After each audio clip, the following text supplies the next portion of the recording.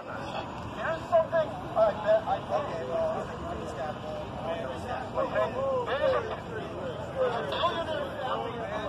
What's your name? Name's Brody Williams. Well, glad you're here. You sport the yellow vest? Pardon? You sport the yellow vest? I see you're oh, wearing I something. I definitely support the yellow vest. I'm very concerned about how Canada has, as a whole, is is now becoming uh, lost in Canadian traditional values. Yeah. What's your ethnicity? I'm Haida from Masset, BC. Oh, Haida Very okay, very good. So, what's your impression of uh, Trudeau versus Macron? Do you think they're the same, cut from the same cloth? Oh, definitely the same, same cloth. You call them globalists? Uh, all globalists that want to destroy a nation within and divide people. yeah, divide and conquer. Correct. So, who do you think's behind uh, the globalists? Who's who's the force behind the it? United Nations, the Rothschilds, Soros, yep. all of those bad people. Yeah. My research indicates people behind the Rothschilds and Soros are international Jewish power. Correct. Yeah, I mean, I think that's all roads kind of lead in that direction, and what right. their motivations, like Rothschild, Zionist, Talmudic. So have you, have you, looked into that as well? Yeah, I've been looking into that. It's good. It's good to say the truth. You know, it's good. It good, good for people to stand up it's and say that. That people start to to realize what's going on before it's too late. I agree. Because if people just say globalists or the Illuminati, it's vague. So how do we get our hands on these people? But if you actually say it's the Talmudists, Rothschild, Zionists, particular ideology, Talmudic thinking, then we can pinpoint the enemy. Like Dr. E. Michael Jones says, uh, it's like firing at paper tanks. If you don't say who they are, it's like you're having a war firing at paper tanks. You don't even know who your enemy is. That's right. So I'm glad you said it. Yeah. Yeah. So Thank you. How long have you been uh, wise to the, the, the this this truth? How when did you find out? Oh, at least five years now. Oh yeah. yeah, yeah. It's about the same time for me. Yeah, I think it was about 2012. I got it. Everybody seems to learn it gradually, right? Yeah. Yeah. And you know that it's becoming very evident and very progressive in their agenda to make a new world order. I think it's time to wake up. Yeah. Very good. Thank you. Thanks for your comments. Okay, so we're here with the uh, yellow vests. I've been uh, interviewing people. So, what's your impressions of the yellow I, I think it went well. I, th- I, think that, and, and I think it really stands for something important that that Canadians are now, you know, finally taking action against. Uh, basically, the policies of, of, our current government, Justin Trudeau and uh, his cabinet members. Uh, I think that uh, they're the simply put, the way they're managing our country is not what the the Canadian majority want for their country. And when you have that conflict, eventually it's going to bubble up and, and sort of explode uh, uh, in France. And that's really what it's done in France.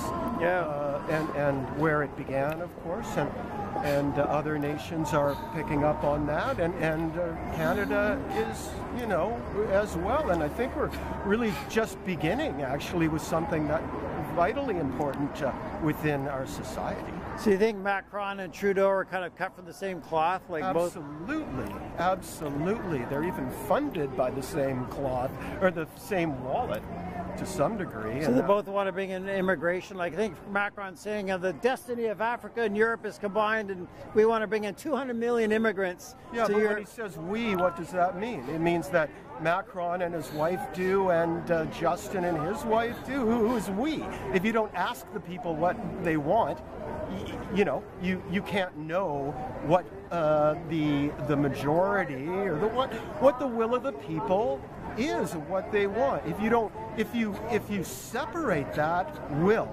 from uh, leadership in government, you have a breach of democracy. And that is, I mean, this is on a political level. I, I think this is really what it is. Uh, we do have a breach of democracy uh, or an abuse of democracy. Yeah. Uh, as we can see with with many of uh, the Trudeau government's de- decisions. So who's behind like Macron and Trudeau? You say the same people are behind them. No, I don't say that so much as like I know that there's one funder, uh, you know, very like billionaire funder who who funds both Macron and Trudeau. Who's that? It's uh, it's a family. It's a Canadian family from Eastern Canada. Really? Uh, yeah, I didn't know. You wanna? You don't have to say who. it's up to you. Okay.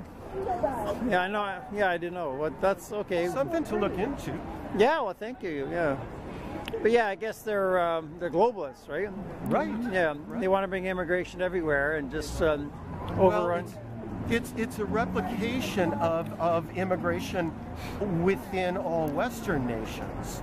Yeah. But curiously, the same uh, demographic uh, goal, you know, is not replicated within non-democratic nations.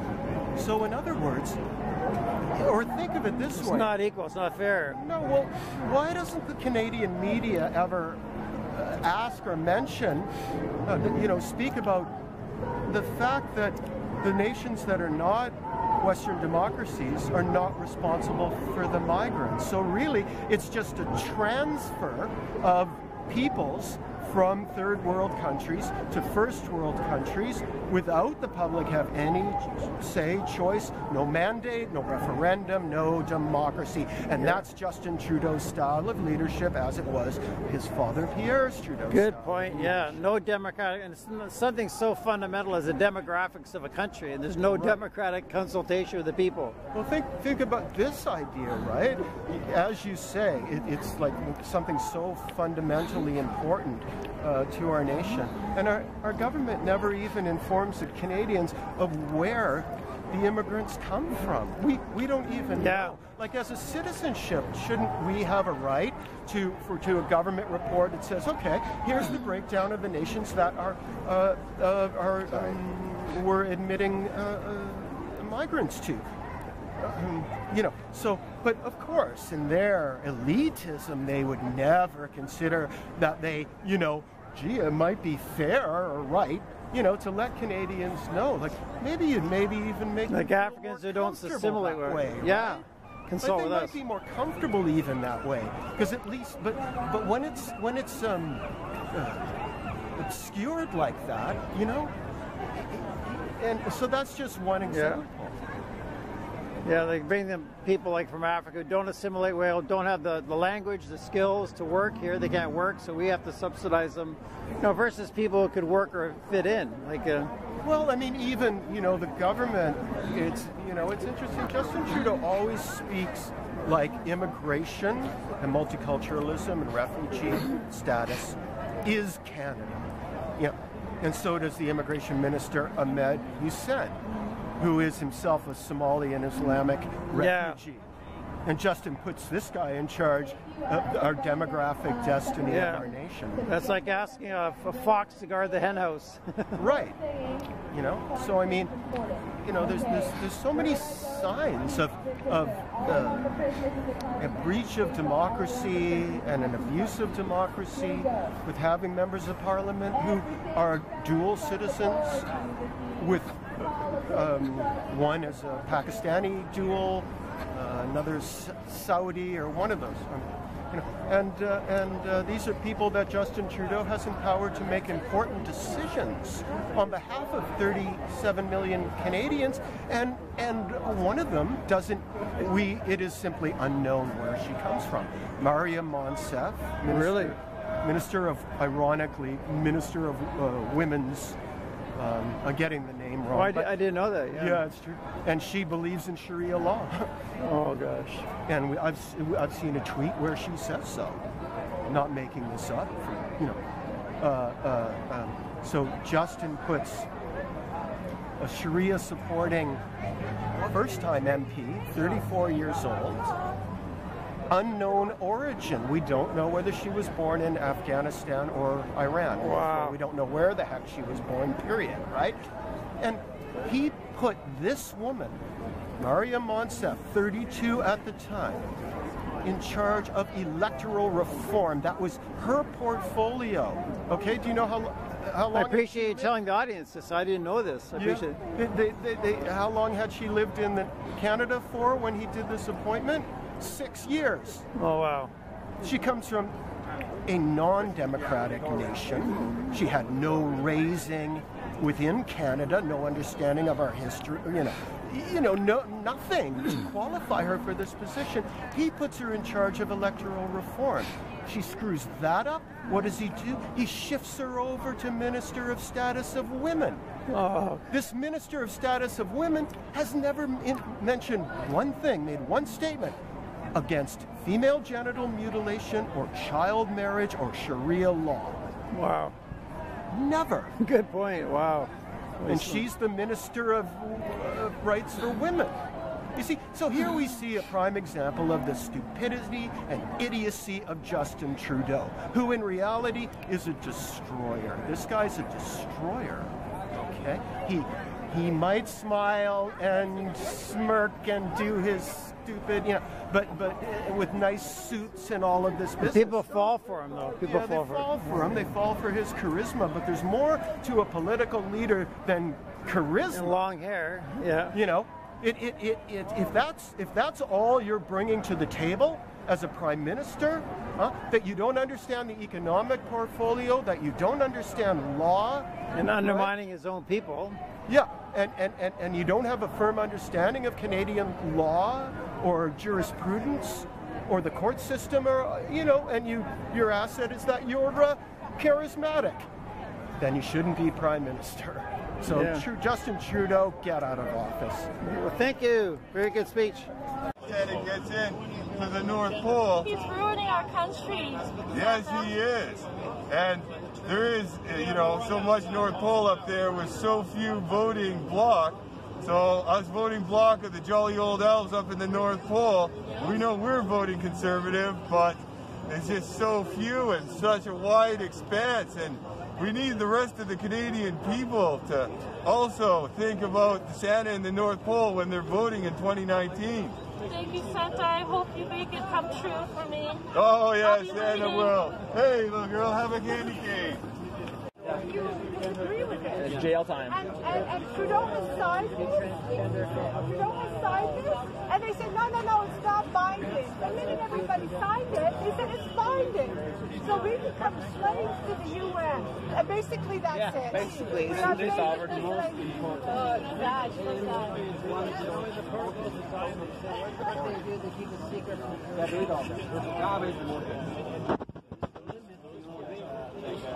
so sad. So we cannot criticize Muslim, we cannot criticize any Christian. No. Yes, uh, uh,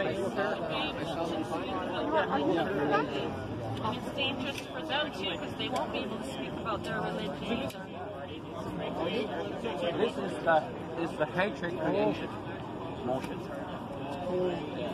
Yeah, now we know why there's a solid tent on El Pasadena. Yeah. It was a precursor. to- Has it fully passed yet?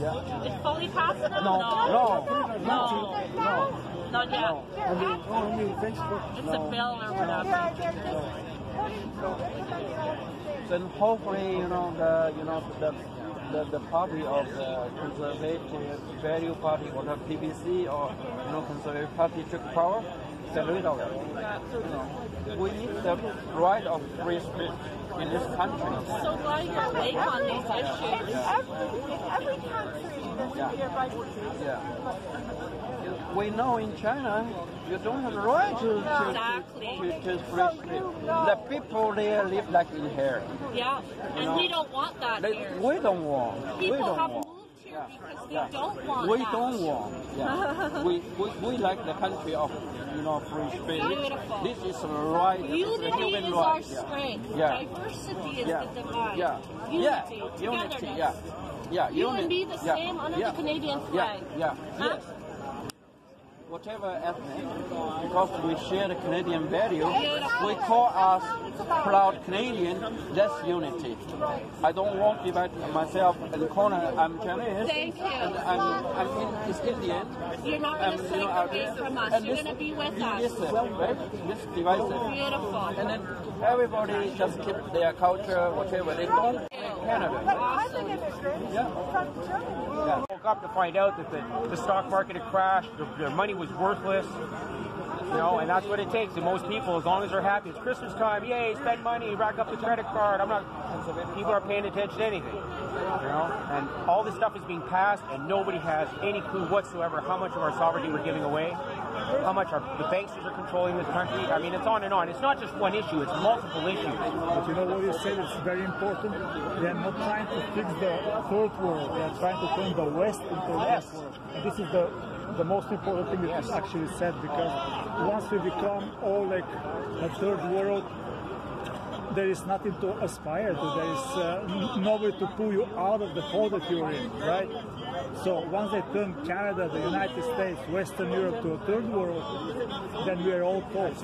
Then we need a world government to control all this mass that is And that's and that's what they've been planning for years since the League of Nations at the end of the Second World I mean, War. it's They've been very trying this clear for for people who still have a few functioning brain cells. But people who don't want to see the truth, they'll just be in denial until the disaster Well, I think the big problem too is a lot of people get their information, like some of my coworkers. Well, I saw it on the six o'clock news last night. Yeah, okay. Well, that explains why you you know you have zero information. What's that? Yeah, yeah, yeah. So you know, people have people have no clue. You know, they, they think they because they watch the six o'clock news, the cat was rescued from a tree. You know, that's all they know. The hockey game's on. You know, their distraction. The football game is on. Christmas is here, and people aren't paying attention to the important things. And what people all the time it's like, do it for the children. Yeah, that's right. Do it for the children. Wake the hell up. You know, start stop electing governments that are constantly uh, creating more debt and more interest payments and more you know more slavery for future generations.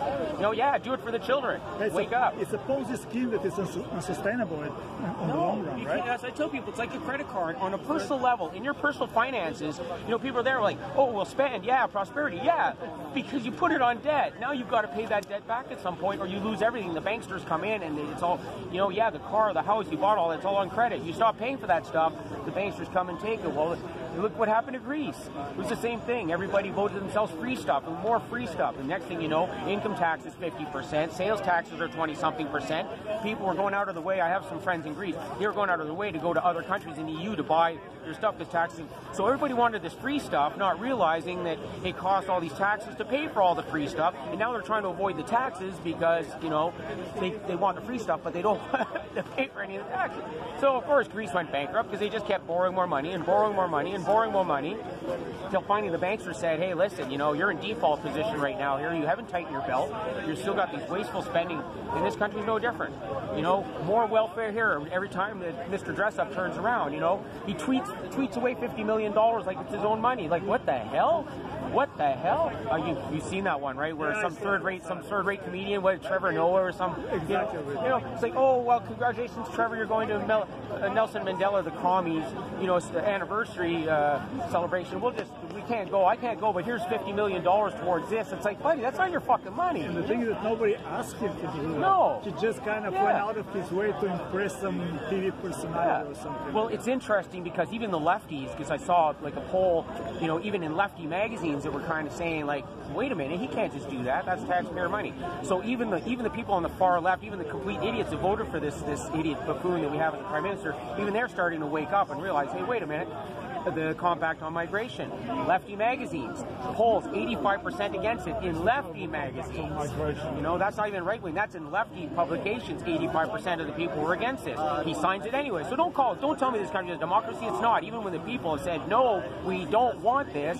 Oh well, hey, you know what? We know better than you. We're the elites. We run the country. We're going to do whatever the hell we want. And what the people say, we let them eat cake. Let them eat cake. We don't care. So.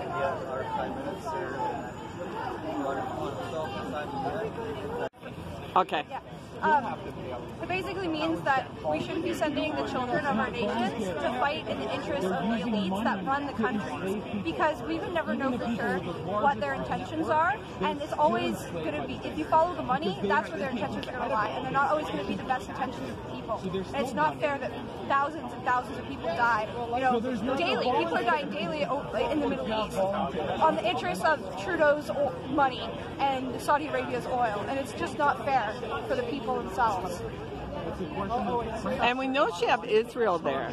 Yeah. But Um, what are your views on Israel here? Um, well, I think that it's a little hypocritical that they have a border wall and they constantly, even though I acknowledge the threat of Palestine is scary to Israelites, um, they kill and they shoot people at their border. They tear gas them constantly. But the same, but then Israeli Americans uh, with dual citizenship in, in politics, they will say, no, we can't have a border wall when there are people literally climbing aboard and invading America. And you can claim that they're refugees or they're migrants, but they're, if you look at the facts, they're invading a country. Historically, since people have had civilizations, that would be seen as an invasion. But because of soft globalism and everyone's demand demanding to um, to be multicultural and to just accept everybody no matter what, it's. Are you getting a little carried away? Yeah, but it's interesting that Israel itself does not believe in multiculturalism. No, they do not. They actually pay African Jews to go back to Africa. They don't want anybody who is not an ethnic Jew to be in Israel. And you know, they're actually not even Semitic people, which is really the most of I believe uh, most of the Ashkenazi people aren't even Semites. So they don't actually have a claim to Israel, to the Holy Land. They're trying to claim it for themselves. And if you look at the Talmud, the what the Israel what Israel's and Zionists follow, it will say that they don't see non-Israel, non-Jews as people, they need to take back the Holy Land and reclaim it for themselves because they're chosen by God. No, God God doesn't choose an entire race of people because He thinks it's special. God loves all His children equally, and that's just very, it's very hypocritical. Yeah. And I think that, and they're just kind of pulling strings, and they're sending our nation's children to die. Yeah, and and uh, Gideon Levy says the same thing. He's an Israeli, and he said the reason they get away with killing Palestinians is they do not consider them human. Exactly. That's exactly it. So it's not a human rights issue. It's not a human rights issue. No, That's what it's not. Yeah. And honestly, America, the United States of America, should not have dual citizen Israeli Americans fighting in the in uh, like Zionists in their government, fighting for the, on the nation, uh, the interests of Israel. With American resources and time and and effort, it's just not fair to the American people, no matter who, what you think an American is. But, so the whole everything else collapsed. I'm so the one time I was a security guard at the 200 yard grand hold at a complex where all the office towers. Because I can get your sign on camera too. Do you want to use your name or is that secret? I actually forgot. Hey, look at the Masonic sign over there. Look at that. Like paint on the wall, right? And so I have the name. Is she with you? Yeah. Very good. Okay, what does your sign say? Well, maybe meds will help. yeah. Big pharma stock values. Yeah. So I got the yellow badge. we know all their dirty secrets. People have suspected for a long time that we're all being played. The system is rigged. But now it's like, what's the point of suspecting it? What about saying, you know, if then, why, why do we say, you know, if such and such, such and such, such and such, then it must all be rigged? It's like, no, not if. It is rigged. It's just a fact. We know this now. They can't keep playing us. We know that the Constitution, uh, or the chart, the Charter, Canadian Charter, was written by a man. We know the Constitution of the United States was written by a bunch of men that got together in a room, wrote it. But they've broken the social contract, and they've been breaking it secretly for so long that they need to be brought to justice for fraud, and a new social contract needs to be brokered. Brokered. They were able to keep the secret, the secrets from us for a while, but at this point, we just know we know too much. So the whole the house of cards is collapsing. Uh, so much for the single Y chromosome Saudi royal family. So much for Trudeau and his $23 million of energy, pharma, and real estate. So much for the mental health system drugging dissidents before they have a chance to speak up, speak the truth, before they have a chance to even realize that they're dissidents or even what they stand for. It's time to write our own constitution. They did it. What's stopping us? So, and I don't think I think Alberta needs to have its own its own borders. The movement can't be co-opted because, and they're going to try already. The leading voices of the Yellow Vest movement, the lead, the leaders on the Facebook group, they're outed as Masons. Are they The really people, the yes. Masons? Because I, I Yeah. joined the Yellow Vest Facebook group and they kicked me off. Yeah, they're But they're. Chase, Chase let me come. I know Freeman, Freemasonry is Judaism for the Gentiles. That's how Freemasonry has been described. it's it's it, it's a means of having a front that it's okay because most of the third, fourth, fifth degree masons are really good guys that really Yeah, want to they make don't the know. world a better place. And, and but the problem is is that when as one of their projects to get to the fourth degree or whatever, they're like co-opt a movement. That is a it's it's an assignment that they're commonly given. To co-opt a movement or to create a movement. Um, But do you think that as the, as ultimately the do you think it's the elite Jews at the top that control the Masons? The Masons are lower down in the power Well, chain than the elite Jews. Jews. Let's face it, Jared Kushner is a white guy. He's not Semitic in any way, shape, or form. He's not, you know, and even the idea, the people who are really Jewish that you see there look Jewish. They got they got the curly hair coming off the side, and they're really practice and read and follow the Torah. They follow the prophets. What about the Talmud? Talmud. They actually say that it says the, the prophecy is that once Jewish people return to God with their whole heart, that God will give them the land back, and that they haven't done that, so they have no business being there. That is that's what the, the line of, of religious Jews are. Now, most Zionists from the UK, if you look at them, they're white people. Maybe they have a little bit of Middle Eastern blood, but they're not. They're white people. They that are self-styled because it makes them feel special that they can wear this, practice that, we're the special people thing. They're, they're Well, some- basically some men. Jews are They're- white. they're- They have grandiose delusions, and so they think, well, I've always felt kind of grandiose, so maybe I'm secretly am Jewish, and then they convert because they feel like they actually were. What about like very- the the Ro- the Rothschilds are the wealthiest family in the world? They're Jewish. But- don't, don't you think all roads lead to the Rothschilds, like the Masons it's as a, well? It's a misreading and an underreading of what it actually what the messages of the prophets and the judges and everything is about how Jewish people are disobedient even though God gave them the laws, showed them how to live a good way, and yet they kept disobeying and kept being punished. That's what it says actually. So you can't say that Jewish people who actually follow the Jewish faith the, the way it's written, the way the ancient books are written, not the Talmud, not more recent stuff, the way the ancient books are written, the scriptures, if they actually follow it, you can't say anything bad about them. That's they're, they're, they're basically saying people are sinful, people fuck up over and over and over again, and we live with the consequences. But we don't learn our lesson, and we do it again. We'll come back for a time and start trying to be good people again, but we don't. But, but there, there's a differentiation between the, That's- the that's elite Jews and the Jewish people, right? There's a difference between the Well, elite people like the. Rothschilds and the 16 million Jewish people. Because somebody who's a practicing Jew who follows it would not be elitist. Yeah, we're talking about the elite though. The elite yeah, Jews, that's elite, the problem. The, ones, the ones that are Talmudic. We're not talking about the ones walking down the street here. Yeah. What about the Rothschild Zionists, Talmudists? Aren't they the ones who control the But it's not though? just they're not just Jewish. Some of them are Rockefeller. I mean, there is a higher representation. I think they're agents for working. The shill's working for the Jewish of it, but money you have though. to- you have to feel like you're special, more Yeah. special than other people somehow. But that's how they work. They work In- through in shills. to- They work through agents, right? Yeah. But aren't the Masons like in a sense shills for the, the elite Jews, like the Rothschild Zionists? I mean, aren't the Masons lower down the power chain from the Yeah, Rothschild? well, they get less of the money. Not all of them. Yeah. Because there's nothing. Because they have to keep the charade alive. Then, if someone manages to get really rich, like uh, Bill Gates is not the example of the carbon. You know, Bezos, no, he's Jewish. So this uh, Paul Allen, say he's, he's, I mean, even Gates, he's a white guy. Like, the, people can get ahead, but the thing is, is that it's all about their net worth is growing faster than inflation can eat it up, and minimum wage is growing slower at a slower pace than in, than inflation. So there's always a cutoff, and people are getting cut off the bottom, Yeah. and then you raise that bar, raise that bar, get the global population down to a billion people. This is why carbon is such a big focus. It's because it's a distraction. Sure, carbon is a problem. It used to be 250 parts per million, now it's 450. There is a carbon cycle. There's carbon in the atmosphere that gets taken up by plants, that get eaten by anim- animals, that get made into meat. So there's a carbon cycle.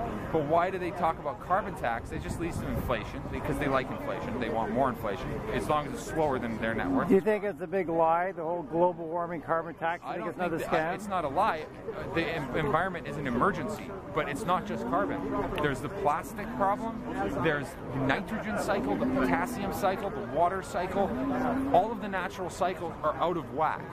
All of them, not just carbon. But the reason why they're saying carbon tax, carbon tax, carbon tax, that way you can do a, a tax on everyone, which just causes inflation. It doesn't lead to a reduction in carbon. So they're not trying to help us.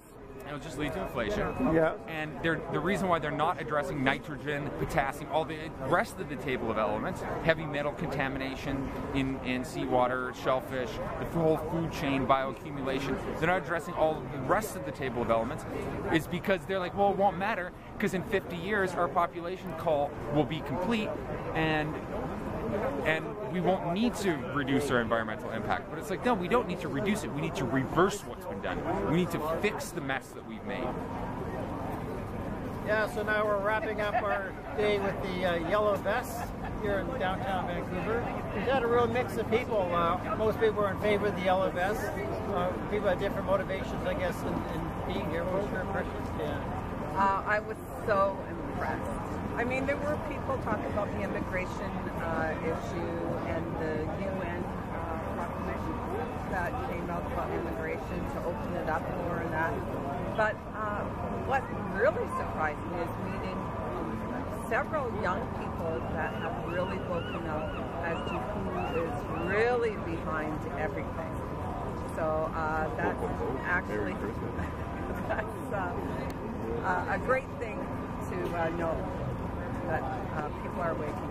Yeah, the young couple we met, they've been Jew-wise for about four years or two years, just gradually learning it. So they're really woken up and, and willing to show their face and talk about it. So meeting new people, so it's good to find out people really know the truth, like Santa Claus here. Ho ho ho! Merry Christmas, folks! Ho ho ho! Trudeau's got to go. Yeah, so it's good to meet Ho ho ho! Yes, we're getting the thumbs up from the crowd. Ho ho ho! Merry Christmas! Merry Christmas, one and all. Okay, so Brian, it'd be nice to do more of this because I understand that the Yellow Vest group uh, they meet every week. Yeah, you meet every Saturday. week. Yes, we want to do more of these, meet, meet more people in person and see who really knows the truth and forces behind this. So stay tuned for Brian Ruhe. Like and subscribe, donate to the Brian Ruhe Show, and keep watching these videos and spread the word. Ho ho ho! Merry Trudeau's got to go.